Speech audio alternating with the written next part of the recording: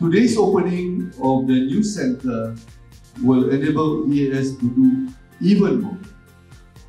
It will allow existing DAS students residing in this area to continue to conveniently access programs and services provided by DAS.